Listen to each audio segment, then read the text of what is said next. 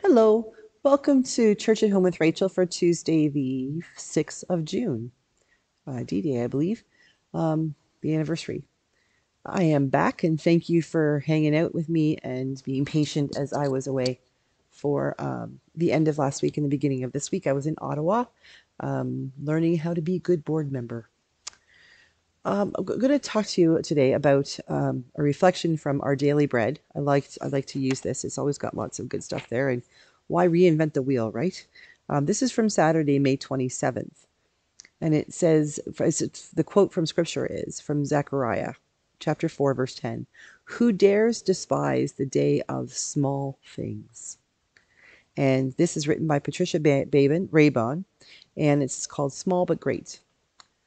Will I make the Olympics? The college swimmer worried her speed was too slow, but when math professor Ken Ono studied her swim techniques, he saw how to improve her time by six full seconds, a substantial difference at that level of competition.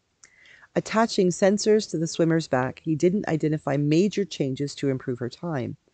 Instead, Ono identified tiny corrective actions that, if applied, could make the swimmer more efficient in the water, making the winning difference. Small corrective actions in spiritual matters can make a big difference for us too. The prophet Zechariah taught a similar principle to a remnant of discouraged Jews struggling, along with their builder Zerubbabel, to rebuild God's temple after their exile. But not by might nor by power, but by this my spirit, the Lord Almighty told Zerubbabel. That's from Zechariah chapter 4, verse 6. As Zechariah declared, Who dares despise the day of small things? The exiles had worried that the temple wouldn't match the one built during King Solomon's reign. But just as Ono's swimmer made the Olympics, winning a medal after surrendering to small corrections, Zerubbabel's band of builders learned that even a small, right effort made with God's help can bring victorious joy if our small acts glorify Him. In God, small becomes great. And the prayer that Patricia uses says, Point me to small good actions, dear God, that make a big difference in me for you. Small corrective actions.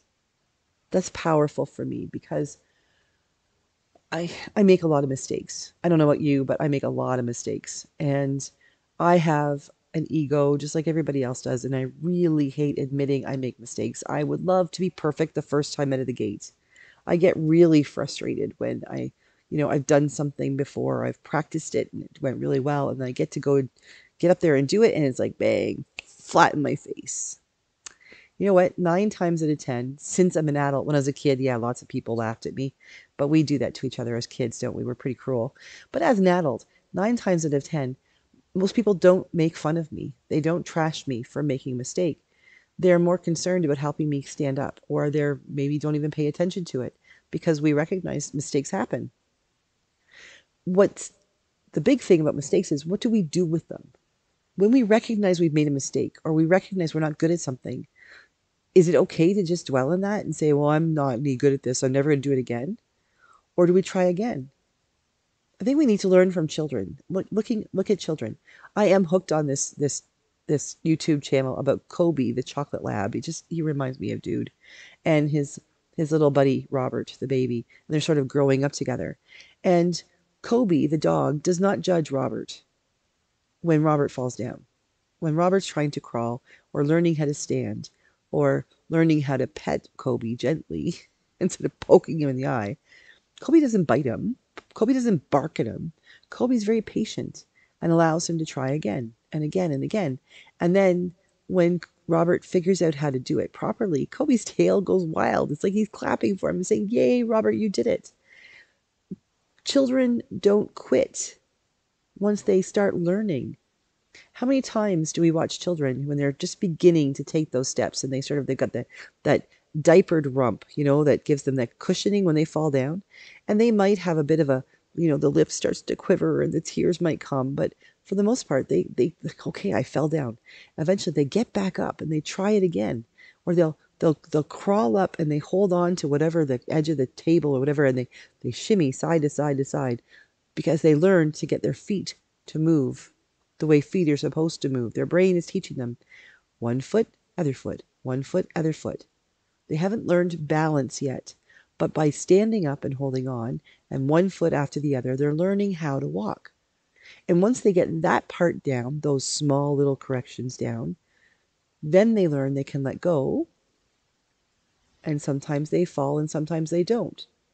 But the more they try, the better they get until eventually they're able to walk and then watch them start to run and then blah, blah, blah, flat in the face and then you might get some tears but then they'll get back up and they they keep on going until they're able to run and then they run and they run and they run. If children can do that if children can take a look at learning and recognize that it's just completely natural why can't adults? Why do we have so much trouble making mistakes? Why can't we recognize that every time we make a mistake, if we learn a little bit more from that, if we change the course, if we alter that, we can become better at what we're doing. We can become the people we're called to be. I think that's really important that we that we pay attention to that, those small corrections.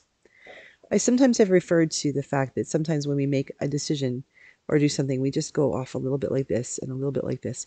One degree seems like if you're, you know, you're talking about a 180 degree road here, it's just flat, straight. And you think, okay, well, if we if we start off and we just veer one degree away, so it's 179 degrees, and the next step is another degree, and another degree, and another degree, eventually the path we take ends up way, way, way far away from this straight path, doesn't it? if we do that just slowly, if every time we, we do something, we learn just one tiny thing from the mistake, or one tiny thing from how what we did well, but what we could do better, or what we said and realize, oh, the people's reaction, I, I hurt that person's feeling. I, I didn't realize that would be hurt, hurtful. I won't do that again. If we do that slowly, we might find ourselves, instead of heading in a direction that leads us, because we've always done it that way, um, leads us to something that we don't want. You know, like if we don't like where we are, what's the point in driving in exactly the same direction? Because we don't change anything, we're still not going to like where we are when we get there. But if we start changing the direction just one degree at a time, one small correction at a time, we could end up with a vista, a view that is incredibly beautiful. We could end up being so good at whatever it is that we've changed, that we've corrected over and over and over, little tiny bits at a time, that we become wonderful at it, or we come become we can celebrate in how good it become, or how much fun it is. We don't have to make big, massive corrections if we realize we're not perfect. What we need to do is figure out how to make those small corrections so that we can work on becoming better. Better as Christians, better at pre- being preachers, better at being a teacher or a doctor or a lawyer, or a mom or a dad, better at just being basic human beings. We can get better and we can become all we are called to be if we're willing to just take it one small step at a time. What kind of things do you need to work on getting better at? Mine needs to be patience. I need to work on being more patient. How about you? Because you know what? If we do this together, we'll make ourselves better and we'll make a better world. Have a great day. Thanks for joining me, and I'll see you again tomorrow for Church at Home with Rachael.